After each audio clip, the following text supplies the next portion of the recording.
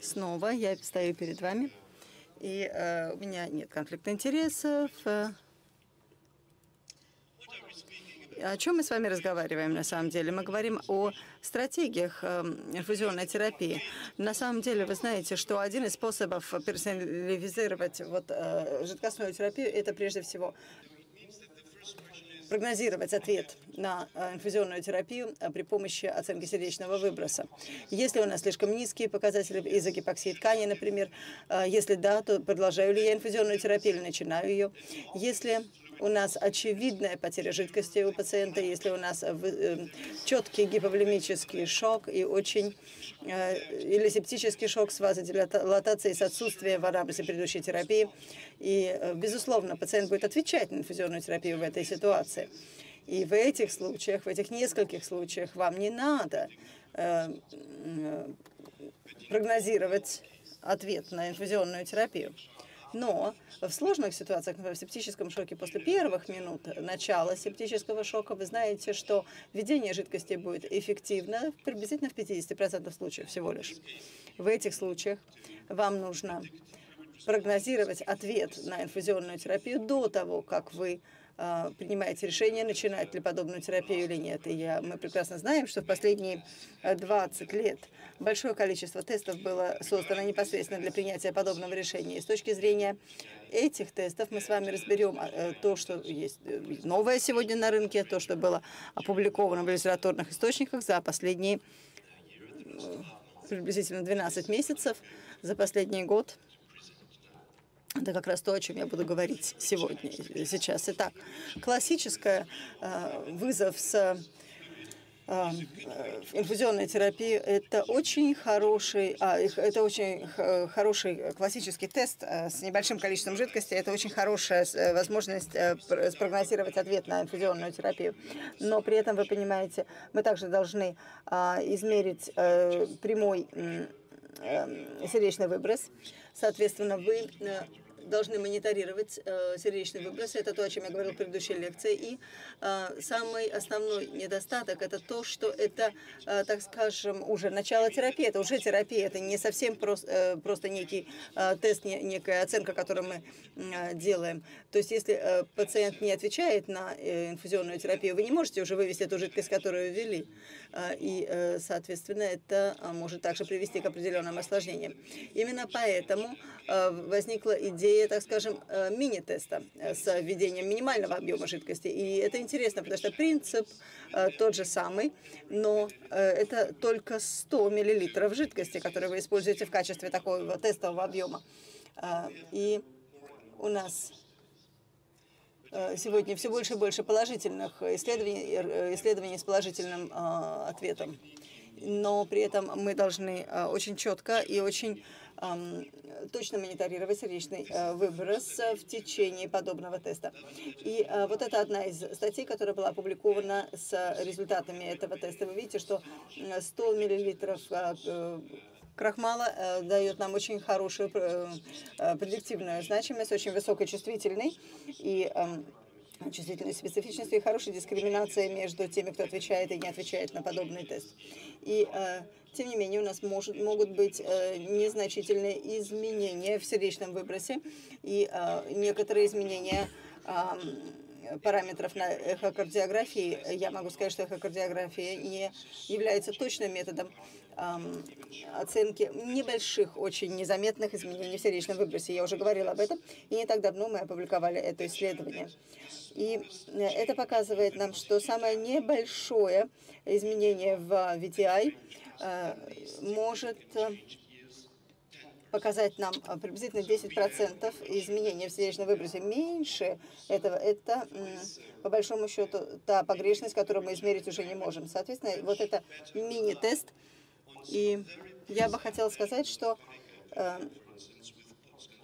то, что касается сердечного выброса, вот э, было опубликовано вот такое исследование с измерением сердечного выброса и с параметрами. Она очень интересная, эта статья, потому что они тестировали также 50 э, миллилитров э, введения жидкости и Э, по большому счету здесь не очень хороший объем для того, чтобы, эм, для того, чтобы протестировать ответ на инфузионную терапию. Это по большому счету слишком небольшой объем, который не дает нам хорошую информацию.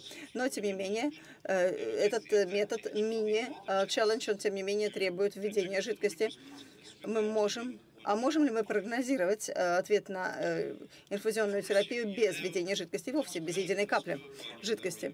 Э, есть у нас вот такая, такой тест, как вариабельность эм, пульсовой волны или PPV. И здесь у нас большое количество метаанализов и положительных исследований, исследований с положительным результатом. И очень легко сделать этот тест. И по большому счету это то, что вы получаете автоматически с разнообразных мониторов. Но есть определенная проблема. Есть много клинических ситуаций, когда вы не можете использовать э, непосредственно этот параметр. И, например, в ситуации аритмии, самостоятельного дыхания, с э, низким комплайенсом и низкой эм, волной. И, соответственно, это один из недостатков пульсовой волны. Это приблизительно 90-80% э, пациентов. Э, мы можем провести этот анализ. Э, мы провели этот анализ среди пациентов нашего отделения, и мы обнаружили, что приблизительно в 16% случаев в, эм, в, в отделении реанимации мы можем использовать этот тест в ситуации, эм,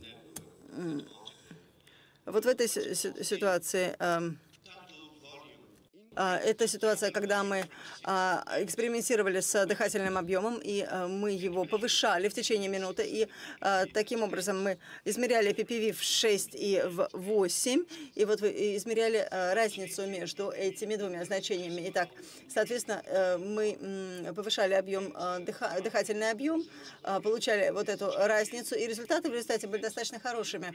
Если у нас повышение в, в пульсовой волне больше, чем в три с половиной раза. Мы знаем, э, что а, пациент будет отвечать на инфузионную терапию, то есть, соответственно, нам сердечный выброс уже измерять не надо. Мы можем его измерить, а, например, только у пациентов с АРДС, а, с АДС. И э, были и другие исследования, тоже с положительным эффектом. Э, тем не менее, нам нужна дальнейшая валидация этого метода. И вот здесь итальянское исследование, которое продемонстрировало нам, что э, вот этот тест с, объем, с изменением объема дыхания действительно очень хорош для прогнозирования ответа на инфузионную терапию. Здесь вы видите, PPV было изменено на 1%. Это небольшое, по большому счету, изменение, поэтому я опять-таки не уверен, что а, пульсовая волна, ее объем является действительно а, хорошим а, методом оценки. Нам нужна дальнейшая верификация этих тестов и этих методов. И давайте теперь перейдем к изменениям в э, верхней и э, нижней полой вене. Я прекрасно знаю, что для вас, для клиницистов, это по большому счету очень популярные э, данные, популярные индексы, на которые вы привыкли полагаться. Вы измеряете сердечный выброс, вы э, знаете прекрасно, как э, эти параметры получить при помощи эхокардиографии, и вы э, знаете, что вот эти изменения в параметрах IVC и SVC э, дают нам а, также хорошую э, прогностичную значимость по поводу ответа на инфузионную терапию. Во-первых, что объясняет вот эти изменения в нижней полой вене? Что происходит? Почему, по большому счету, она изменяется? А, существуют определенные механизмы, два механизма. А, когда у нас есть э, предварительная нагрузка, то а, у нас есть интермуральное давление внутри нижней полой вены. И также, если у пациента гиповолемия, и если нижняя полая вена пустая, то в этом случае она более чувствительна к изменениям в окружающем ее давлении, в, то есть внутри абдоминального давления. И таким образом вы хорошо понимаете, что эти изменения в диаметре а, не, не только соотносятся с, а, с ответом на вот эту предварительную нагрузку, но также это комплаентность вены. Это внутри а, интраабдоминальное давление, которое действительно играет очень важное значение в данном процессе. Это, не, конечно же, не чистый марк, маркер ответа на жидкость. И а, то, что касается подтверждения, у нас было вот такое огромное французское исследование, которое было проведено в среди 140 пациентов. Вы видите, что а, зона под кривой а, была 0,75 приблизительно, а для верхней половины, а для нижней половины это было 0,65. Это очень низкий параметр. Ничего хорошего мы здесь не видим. И у нас вот такое э, очень разочаровывающее нас исследование, но при этом у нас много метаанализов, которые э, суммируют э, результаты предыдущих небольших исследований. И вы видите, что этот прогностический фактор не хороший вовсе, потому что мы видим здесь очень разочаровывающие результаты метаанализов также. Поэтому мы должны быть очень осторожны с вот этим популярным таким индексом, при помощи которого мы пытаемся оценить ответ на инфузионную терапию. И э, рекрутмент – это то, что мы оцениваем э, и то, что мы используем для оценки. И принцип очень простой. Если вы повышаете э, внутриторакальное давление, то вы э, будете снижать прилоуд. И если и это означает, что э, эти параметры связаны, и э, тогда ваш пациент э, фактически будет зависеть от вот этой предварительной нагрузки. Его легко провести, но это исследование, тем не менее, показывает, что пациенты под анестезией, они, это были пациенты, которые отвечали спра слева и справа. У нас э, пациенты, которые не отвечали. Вы видите, что сердечный выброс э, снижается в обоих э, случаях, но там, где у нас ответ на инфузионную терапию, он снижается гораздо больше. И, э, у, но, тем не менее, у неотвечающих он также снижается из-за повышения э, внутриторакального давления после э, разгрузки правого желудочка.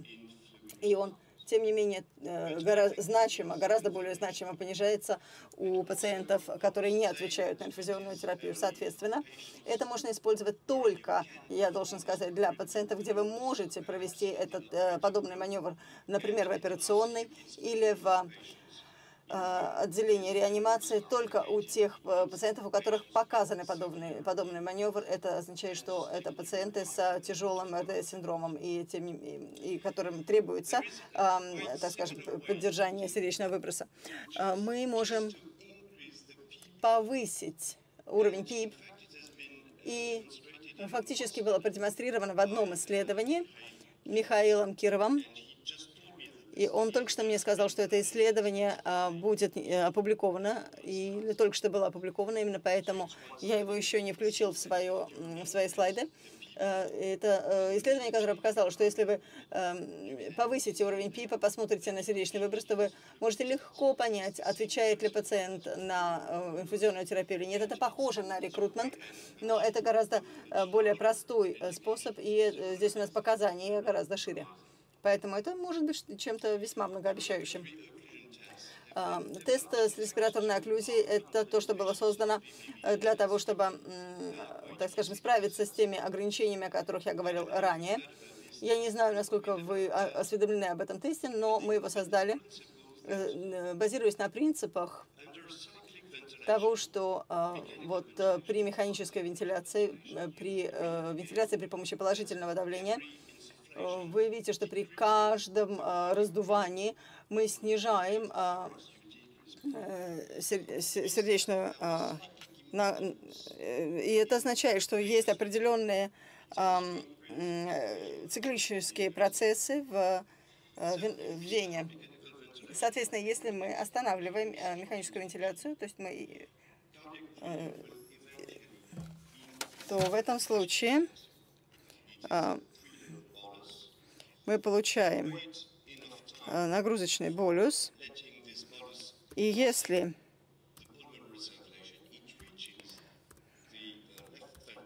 и э, таким образом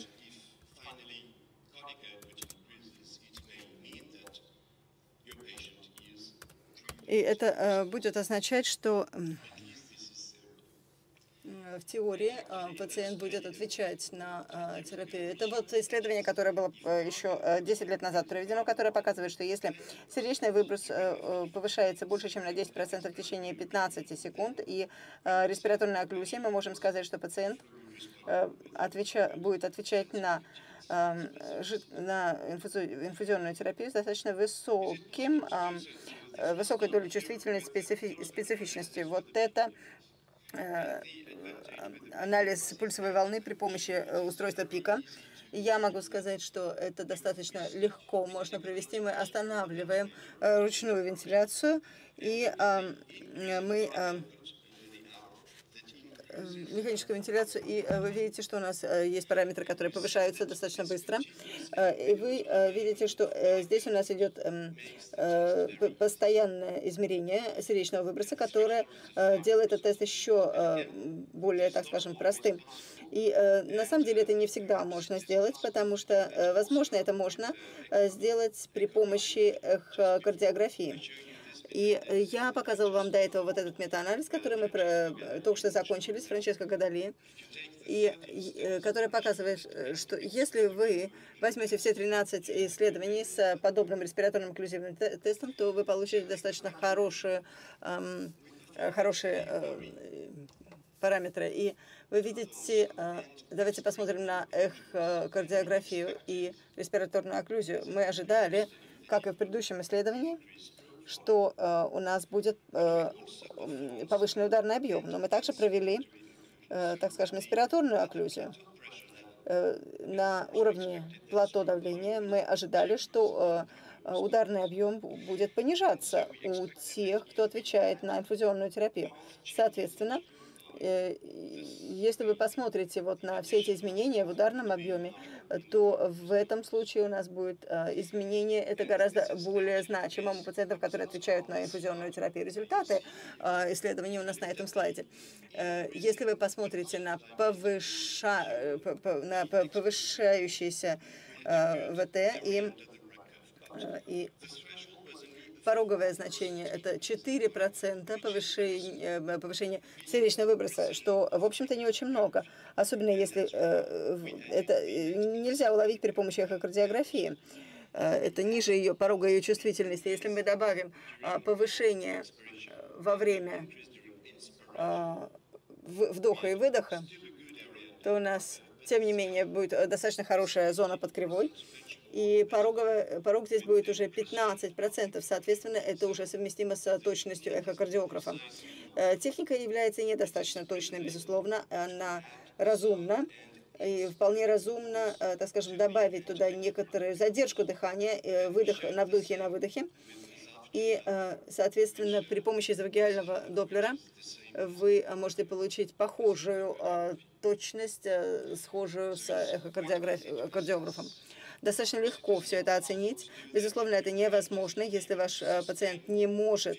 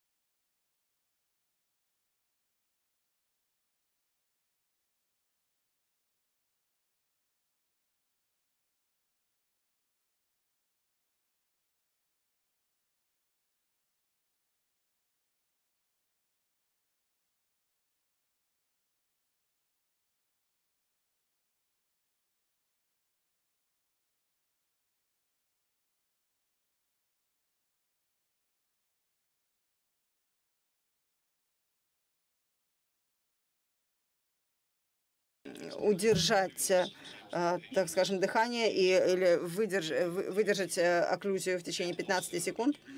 Э, и также это требует мониторинга и оценки сердечного выброса. И то, что касается последней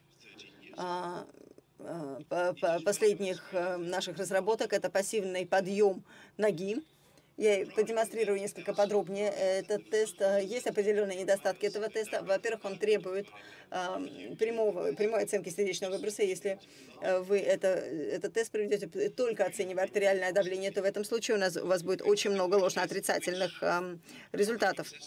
И, э, соответственно, с существующими техниками Э, какую же из них я бы выбрал для того, чтобы э, провести тестирование? И вот, э, по большому счету, это то, что мы создали вместе с Жан-Люком два года назад. Вы можете использовать анализ пульсовой волны.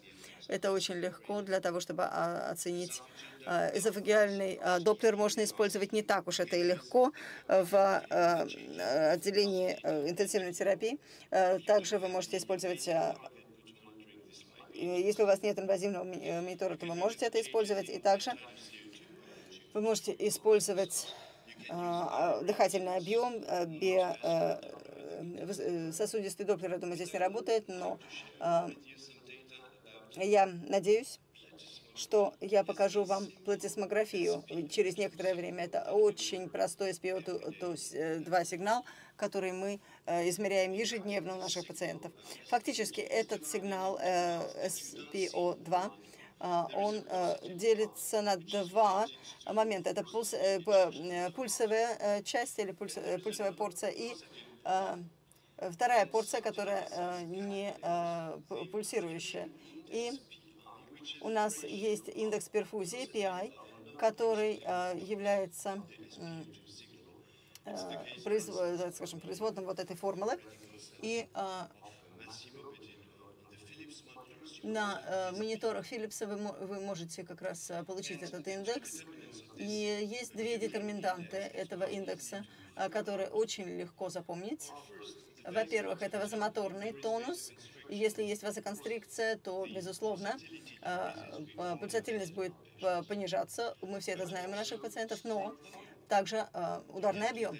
Вы это можете сами сделать, если вы, например, э, поставите датчик вот э, на кончик пальца и сделаете маневр вальсальва на несколько секунд, то в этом случае амплитуда э, СПО2 будет снижаться. И это прежде всего связано с сердечным выбросом. Соответственно, мы хотели бы знать, вот эта амплитуда СПО2, она э, действительно могла бы помочь нам оценить пассивный градиент. И в этом исследовании, которое мы опубликовали несколько месяцев назад в журнале «Критическая медицина», э, мы... Э, посмотрите на пациентов слева. Э, во время вот этого пассивного теста с, поднятием, с пассивным поднятием ноги индекс PI был повышен, так же, как и сердечный выброс. И он не менялся при, у тех пациентов, которые не отвечали на инфузионную терапию. И это не идеальный, конечно же, предиктивный фактор, э, но и вы должны быть осторожны, потому что есть пациенты, у которых мы не можем получить данные по этому индексу э, из-за очень э, тяжелой вазоконстрикции, например, как у большинства пациентов, но и также э, из-за нестабильных сигналов, которые мы э, не поняли. Это, у пациентов не было аритмии, и я полагаю, что это наши всего лишь предварительные результаты, но, а, возможно, они дают нам, а, открывают дверь во что-то очень интересное, потому что, возможно, они позволят вам оценить изменения в сердечном выбросе фактически а, вот при помощи датчика SPO2. Соответственно, у нас много-много новых мониторов и возможностей оценить эффекты. И, в конце концов, Э, у нас есть вопрос ограничения теста. Дело в том, что их не очень много, и, но э, и тест сам не очень хорошо исследован на, на данный момент. И э, в течение нескольких лет у нас поднимался вопрос интер, э, интрабидальной гипертензии, потому что если у нас есть гипертензия, то в этом случае компартмент, селезеночный компартмент фактически подвешен компрессии, и поэтому нам у нас меньше объема а, который будет передаваться или, эм, так скажем, смещаться при помощи подъема на, на ноги. И, э, соответственно, в то время вот, была выдвинута такая теория, и э, недавно мы продемонстрировали, что действительно так и есть. Вот эта работа Александра Абертона, которая была опубликована буквально несколько месяцев назад в журнале «Генетическая медицина». Вы видите, э, это те, кто отвечает на инфузионную терапию, сердечный выброс повышается, И вы видите здесь в Е это volume expansion или распределение объема. Вот здесь у нас гипертензия. Дело у пациента с интраабдоминальной гипертензией сердечный выброс повышался, и тест с пассивным подъемом ноги имел очень ограниченный эффект. И мы классифицируем всех пациентов на отвечающих и не отвечающих.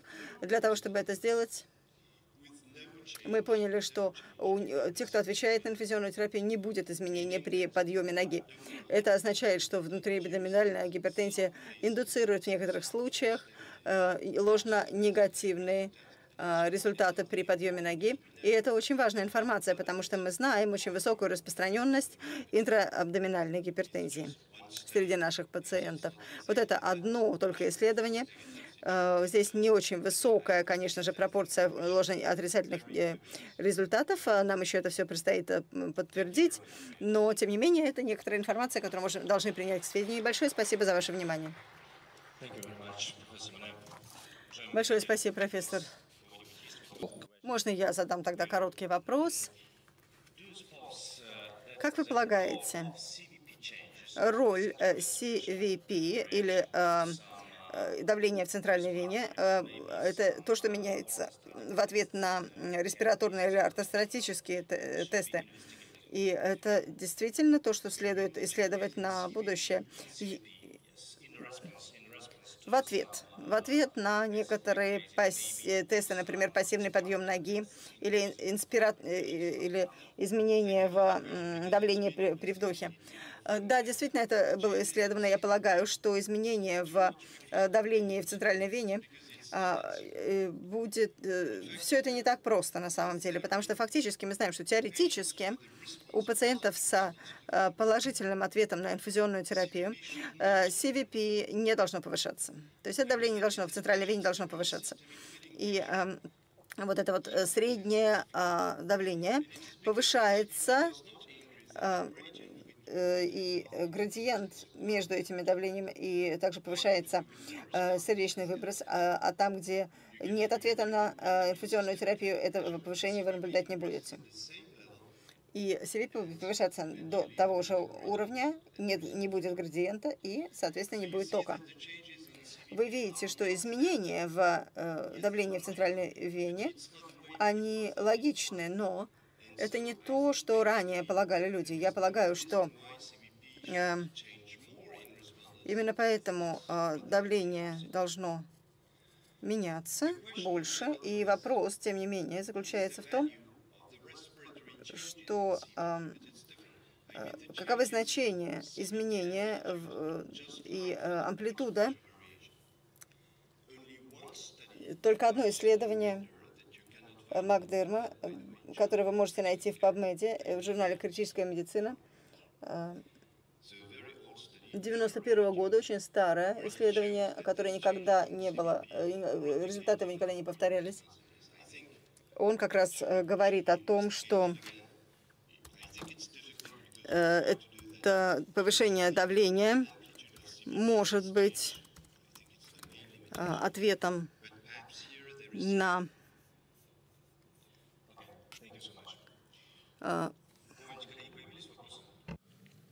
Хорошо, тогда поблагодарим еще раз э, профессора.